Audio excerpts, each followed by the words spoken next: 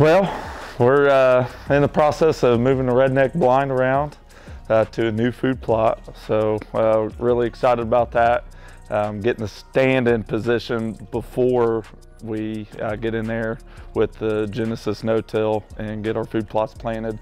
So right now we're uh, getting the, the frame uh, section of the blind reconfigured. We're putting a five foot extension on it and we'll get all the fabrication done here in the barn and then we'll load it back up on the wagon, take it back in the field and put the redneck blind back on top of it. So really excited. Let's get to work.